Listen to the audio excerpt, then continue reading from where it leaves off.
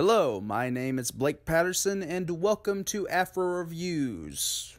Since this is the week of its 40th anniversary, I am examining Steven Spielberg's E.T. the Extraterrestrial.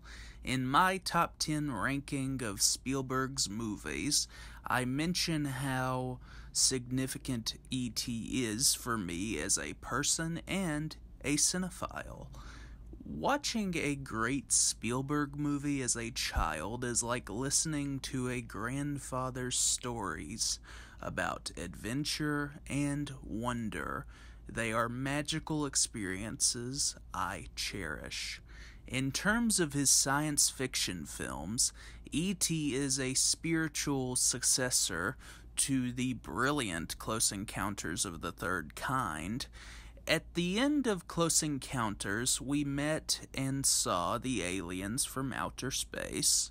The 1977 film played into themes of the unknown, paranoia, and belief.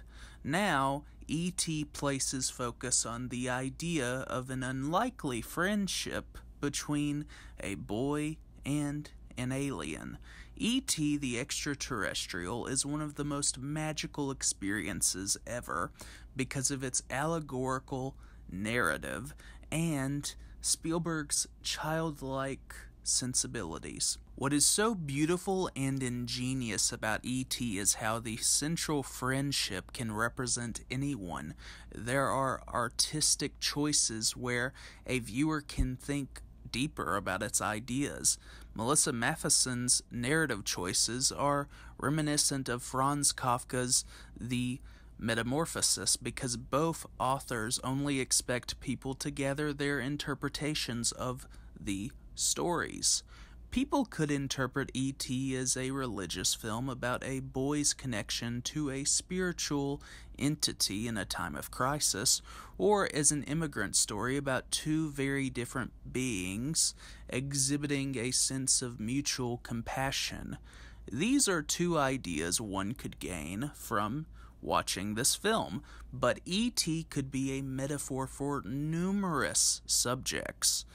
Due to how rare this storytelling choice is, one should appreciate it when this kind of narrative occurs. In terms of directors in history, there is not a single artist who can match Spielberg's skills with children. What is even more remarkable is how Spielberg can capture the inner child in every adult with his best work. Spielberg can also, more than likely, direct a wonderful performance from a child actor. In this case, Henry Thomas's portrayal of a small town boy, Elliot, is one of innocence, an encapsulation of joy and heartbreak. Of the child performances in history, Thomas's Elliot ranks with Natalie Wood's Susan Walker, and Tatum O'Neal's Addie Loggins.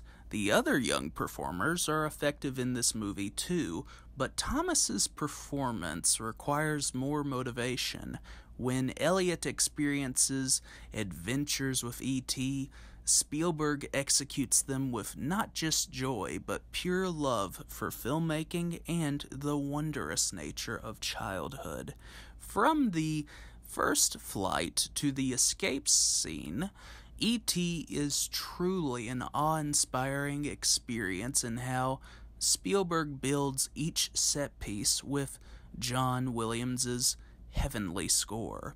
Reflecting on Spielberg's career, E.T. the Extraterrestrial is a part of a spiritual trilogy where the filmmaker examines the social outcast from different angles. It would take several years for Spielberg to create his ultimate expression of universal heartache and longing thanks to Stanley Kubrick.